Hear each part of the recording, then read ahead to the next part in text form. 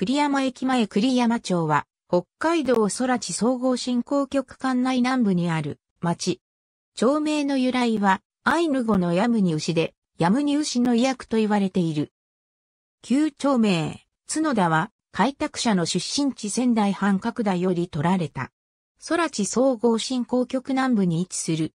西部は平地、東部は夕張山地に由来する山地となっている。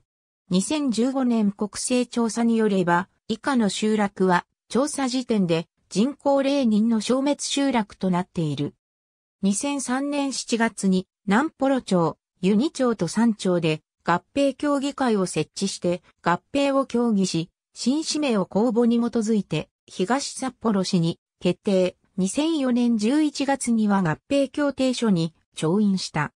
しかし、長沼町が合併協議に加わらなかったため、飛び地となる南幌町では、同年10月に行われた住民投票の結果、合併反対が多かった。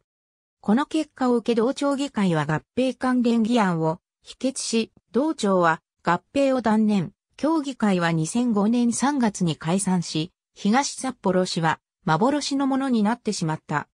その後2008年5月から同年12月に同じ山町での合併検討協議会が設置され、法定協議会への移行を行うか検討するとしている。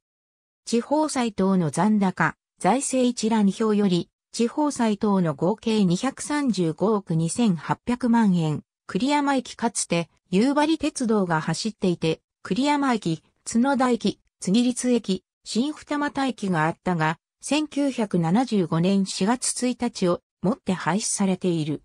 なお、1971年11月15日に、角田駅、次立駅、新二俣駅の旅客営業が廃止されている。1974年4月1日に、栗山駅の夕張鉄道線の旅客営業を休止し、再開されないまま、1975年3月20日、旅客営業廃止となる。小林酒造登録有形文化財町の文化財その他。ありがとうございます。